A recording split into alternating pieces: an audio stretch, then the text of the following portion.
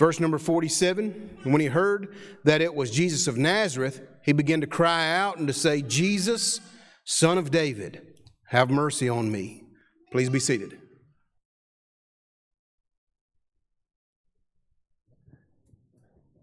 Please keep your Bibles turned to Mark chapter 10. We'll be looking at that uh, chapter tonight.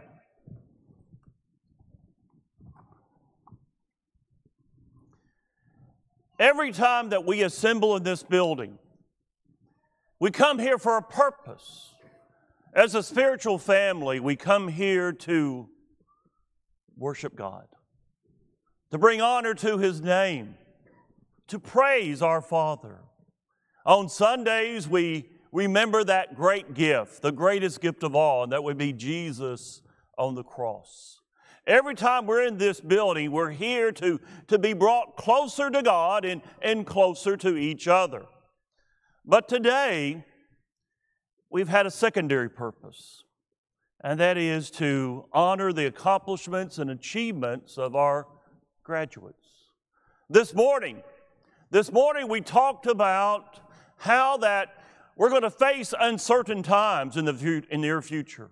And as we go out into these uncertain times, we must uh, obey, uh, follow, and trust in Jesus. That's going to get us through the rough days that could be ahead of us in our lives. Tonight, we continue. We continue to look at what do we do in these uncertain times. And tonight, I want to issue to our graduates a challenge in these uncertain times, be a world changer. I want to challenge you to become a world changer. Now, I want to go back a little bit back in my heyday, okay? Let's go back to my heyday. This is Lassie. And in the early episodes of Lassie, we had Lassie and remember little Timmy? And uh, little Timmy, uh, he was always getting into trouble. He was, uh, for example, uh, falling down in the well. And what would Lassie do? Lassie would go out and uh, get somebody and come back and rescue little Timmy. Well, 10 years ago, Chevrolet, for their Super Bowl commercial, decided to do a, um, a kind of a spin off of the Lassie story. But instead of Lassie and Timmy, it was a Chevrolet Silverado and Tommy. And Tommy, just like Timmy, was always getting into trouble. He, he fell into the well. He, uh, he was uh, eaten by a big whale. He got lost in the volcano. And guess what? The Silverado rescued him each and every time. For you and me, for our graduates, for all of us, the question is not, will we ever get into trouble? The question is, what will we do when we do get into trouble? Because troubles, problems will come along. You see, we all get into problems, we all get into trouble, but only some of us only some of us come out of those problems a better person. Only some of us come out of the ad- adversity a victor, someone who is able to change the world and not to become a victim of circumstances. I want us to change our world starting with our own community, our family our friends. And we look tonight at a man that I think just perhaps became a world changer. And he's a very unlikely man to do this. In our present uncertain times, what do we do? How about you? How about me? Let's read Mark 10, 46. Now they came to Jericho. Now, Jericho was uh, one of the oldest, if not the oldest city on earth. Very old city. Herod the Great had turned it into uh, somewhat of a resort palace for his family. And here Jesus comes to Jericho.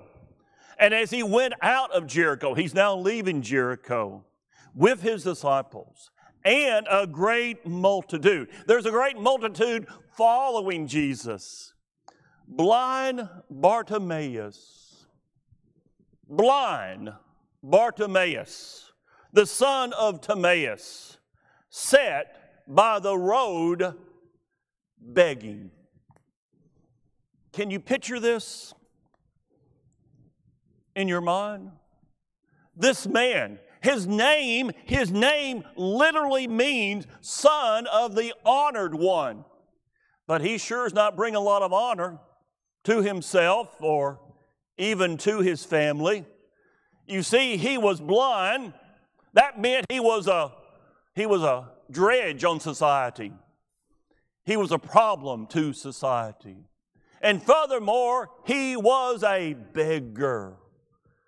That's the worst. The worst kind of job you can have. Now, Bartimaeus did not bring honor to his family, he brought shame. But he did not let that keep him from Christ. Verse 47. And when he heard, of course, he can't see, he's blind, but when he heard that it was Jesus of Nazareth, no doubt he'd heard people talk. He'd heard the whispers, he'd heard the stories, he'd heard about the miracles. When he heard that it was Jesus of Nazareth, he began to cry out and say, Jesus, son of David, have mercy on me. Despite his condition, despite where he was, he was on the roadside. Okay? He's not even inside the city. He's on the roadside outside of the city of Jericho. He does not let his conditions keep him from Jesus. Verse 48 Then many warned him, Shh, be quiet. Shh, be quiet. But he cried out the more, Son of David, have mercy on me. He's pleading. He's pleading for mercy. You, you see, the, the citizens the citizens of the, of the city, they're embarrassed over this man. Uh, he's not going to let them stop him, though. He isn't about to let anyone or anything stop him from getting close to Jesus. And here comes the first point. If you want to become a world changer, if you want to make a difference with your friends, with your family, with our community, with our world. And certainly, we're going into a time we're going to be in the midst of uncertain times. Then, don't let anything or anyone keep you from Christ. I'm going to let you in on a big secret. You're about to leave the nest, and there's going to be a lot of people. Sometimes it's going to be your friends, sometimes it's going to be others maybe college professors, employers, whoever, and they're going to try to pull you away from Jesus. They're going to try to change your priorities. They're going to try to influence you to the negative. Don't let anything or anyone keep you from Jesus. Now, Bartimaeus, even though the people are saying, Shh, quiet, Bartimaeus, don't, don't bother the master, don't bother the teacher. He's not going to take a no. He's not going to let anyone keep him from Jesus. Uh, I want to go back to a movie from several several years ago, First Knight. In the movie, King Arthur and Queen Guinevere are, are celebrating their wedding. And at the celebration, there's a, there's a gauntlet. It's an obstacle course, a, a somewhat deadly obstacle course. And if anyone can negotiate it and complete it, they can sit at the table with the king. People keep on failing until Lancelot until Lancelot takes on the gauntlet. And he is the first person, the only person that is able to negotiate the gauntlet to the very end. He tells the king how he did it. He says this It's not hard to know where the danger is if you watch it coming. Perhaps fear, fear, made the others who failed go back. They should have gone forward. I think that's often what we do. We end up going backwards. We uh, branch out in our lives. We go to school, we get a job, uh, we move away or whatever, and, and instead of resting on the foundation that we've been given, the good, strong biblical foundation, it's so easy to uh, be persuaded by those friends and other people, and we end up going back away from God. We end up backing up. We should be pressing on. Paul, Paul encouraged all of us to press on, to not retreat, not fall away. If you want to become a world changer in these uncertain times, then we cannot let anything keep us from Christ. Not friends, not college professors, bosses, or even family. We've got to stay focused on what's important. What we got to do, we've got to trust Christ with our lives. We got to trust Him with our lives. We must rely on the Lord to do His work in us, even when times are hard. And times can be hard. When all your friends are going to the party, but you know, the party is not going to be a party that a Christian should be at.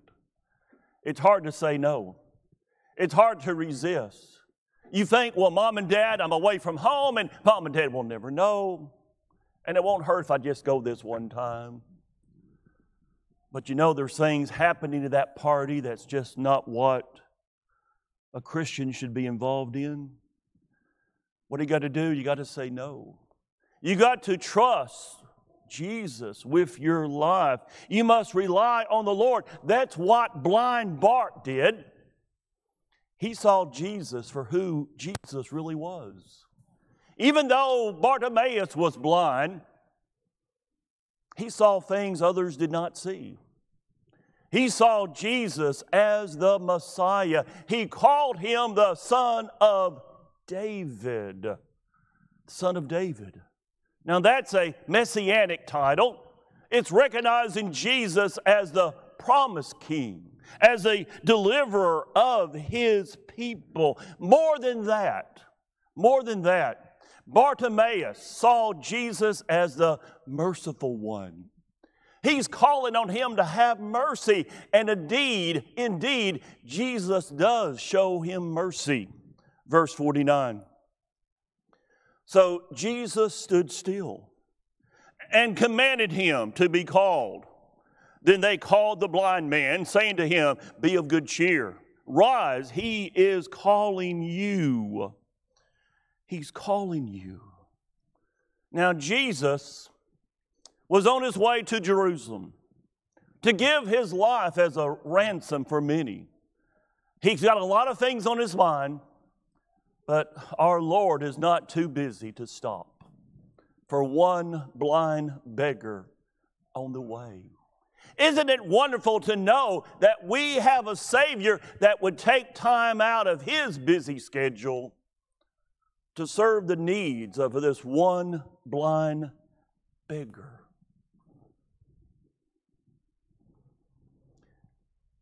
What does blind Bart do now?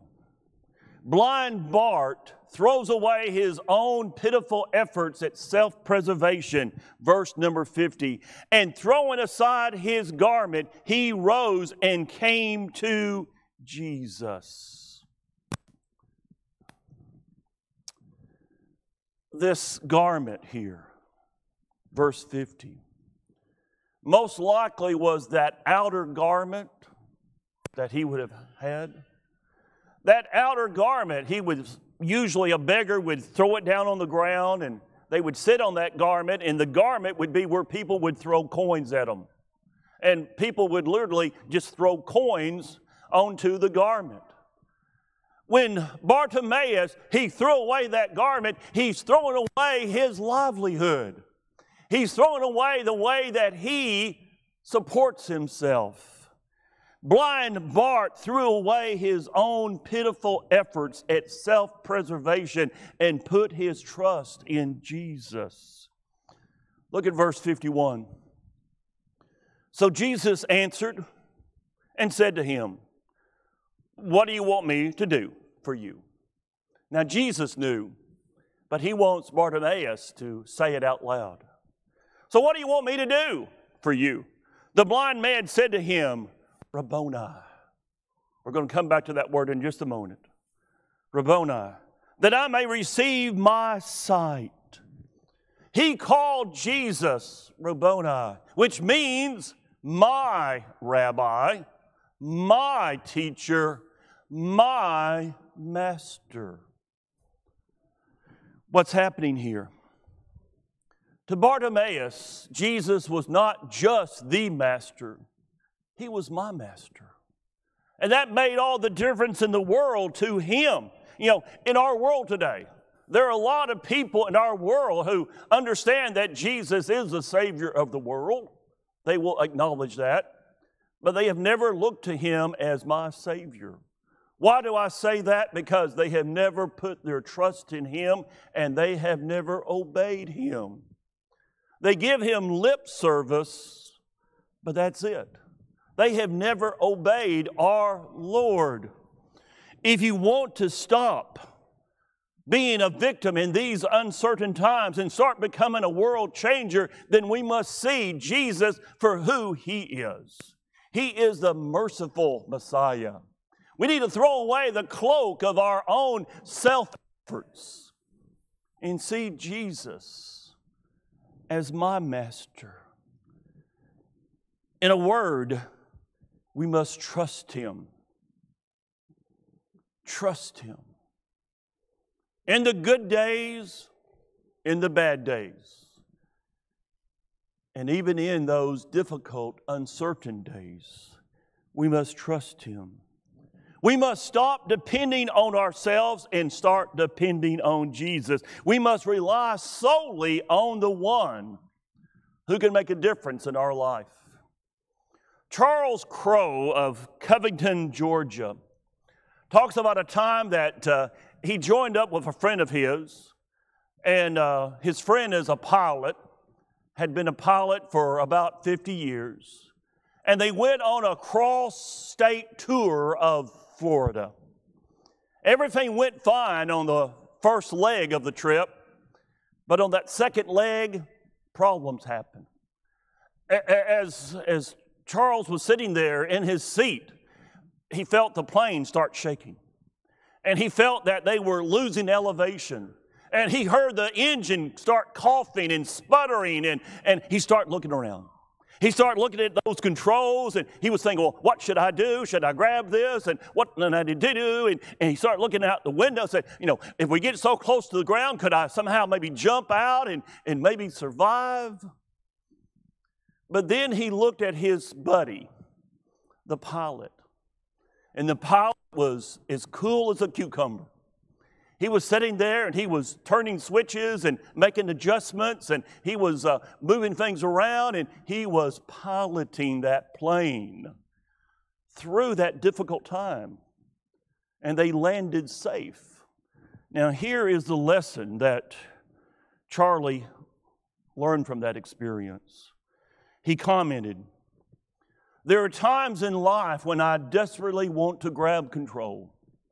My experience in the plane reminds me that if I take control, I will ruin or destroy my life. It's at those moments that I must resist the urge and trust the one who has seen it all before and who knows what he is doing. My friends, that's the only way. Any of us will ever make it through life. We must resist the urge to take control and trust Christ to steer us through the good times as well as the uncertain times. Don't, don't let anything keep you from Christ. Instead, trust Christ with your life, for that's the only way that we can be truly safe. That's the only way that we will be rescued from a life of darkness to walk in the light of Christ. Look at verse number 52. Then Jesus said to him, Go your way. Your faith has made you well. And immediately, that's that word that keeps on popping up here in the book of Mark. And immediately he received his sight. And what does he do?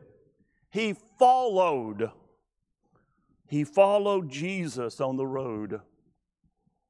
Follow Jesus on the road. This story is in the book of Luke, chapter 18.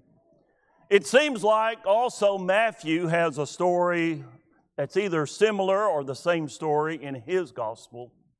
But the difference between Matthew, Mark, and Luke is the fact that only Mark names this beggar by name. I wonder why. Why is Mark the only one that names him by name? Now, keep in mind, they in the first century they had a, a, a, somewhat limited supply of writing materials. You know today we can uh, we can go on our computer and we can order a, a case of paper and have it here tomorrow. That was not the case back in the first century. Writing materials were somewhat limited. So so people who wrote always were very conservative in the number of words they would write down. They didn't want to waste a word. They wanted to be as, as conservative as possible with the number of words to limit the amount of writing material that would be required. So, why did Mark, through the inspiration of God, why did Mark name Bartimaeus by name? I can't say for sure, but I want to give you my opinion. And this is just my opinion. I think the answer may be found in the audience that Mark is going for. The book of Mark, the gospel according to Mark, is written primarily for a Roman audience. He's writing, we believe, primarily for a Roman audience. So, why would he include the name if he's writing to a Roman audience? Well, let's go to another source. Let's go to a source outside of the Bible. Let's go to a writing of a very early Christian in Rome. In his writing, he talks about Bartimaeus. And he even in case there's more than one Bartimaeus. He even says Bartimaeus, the one that Jesus healed. So he really he, he narrows down the focus. We pretty sure he's talking about this Bartimaeus. And in this early Christian writing, he talks about the influence of Bartimaeus on the Roman Christians. Why? Well, he did not reveal the why. Did Bartimaeus travel to Rome? Did Bartimaeus end up living in Rome? Did Bartimaeus perhaps start a ministry uh, uh, uh, for uh, blind people to help them to understand Jesus and convert them to the Lord? We don't know. All we know is it seems that Bartimaeus had influence on the Christians in Rome. So maybe Mark, who's writing to Roman Christians, he's writing to a Roman audience, he mentioned somebody that they knew already Bartimaeus. If that's the case, Bartimaeus became a world changer. We know that he followed Jesus. And usually, that word follow in the book of Mark is referring to someone who's not just uh, walking behind somebody, it's, it's walking in obedience with somebody. He followed Jesus. Somehow, in some way, it seems like he became a world changer on the Christians in Rome.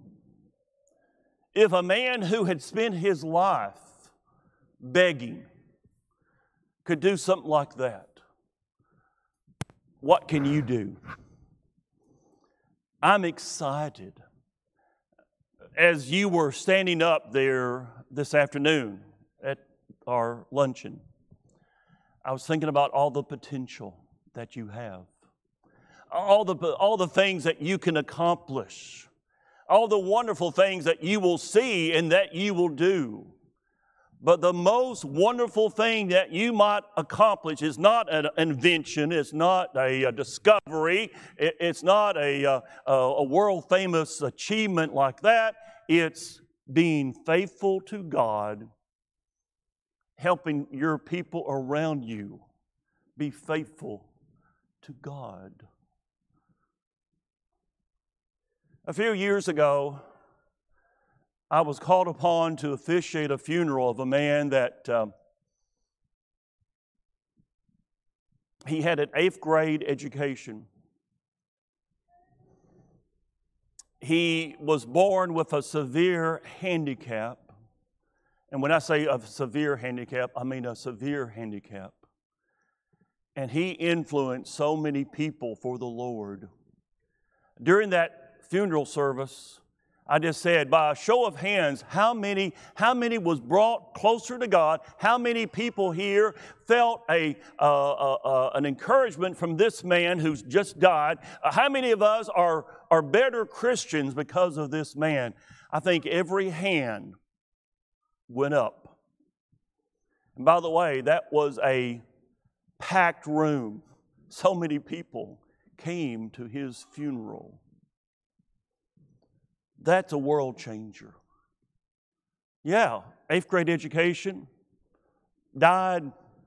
He never was wealthy, you know. He had old tractors, old trucks. He never had anything new, but he was a world changer. You all can do that. If you stay faithful to God, if you encourage others around you, your spouse, your children, to, to believe and trust in God. You can be a world changer too.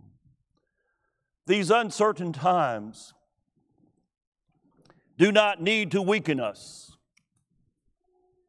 or make us hard. Rather, Christ can use the adversity to turn us into world changers if we simply get out of the way and let Him do His work in us. The next two slides you have seen before. You know me, I always end with these two slides. One is a call for you to become a Christian. Using the verses, these are all words from Jesus right here to believe, repent, confess, and be baptized. And then the next slide is, uh, is a reminder that as a Christian, we can ask Him to forgive us if we have lived away from Him, if we have disappointed Him, if we have become unfaithful. He will forgive, and the church stands ready to pray with you and for you. And normally at this moment, I'd be stepping down and John would be coming up here and leading the what we call the invitation song. I've got one additional slide tonight. You've seen it before already. I want you to look at the eyes of this man. We don't know what Bartimaeus looked like. We don't have a picture of him. I'm using this picture to represent first Bartimaeus, but look at his eyes.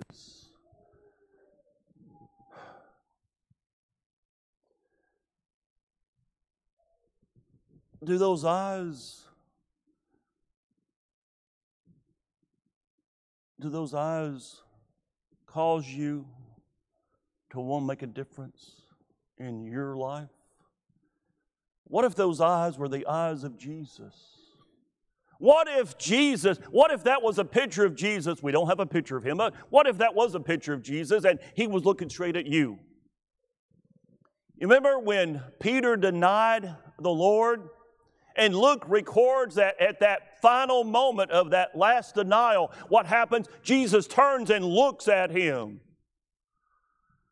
You talk about a look that would just melt anybody, that was a look. Because Peter knew what he had done. Tonight, look at the eyes and think to yourself can I be a world changer? And I'm ready to do that. If there's anything we can do to help you, please come forward as we stand and sing for your encouragement.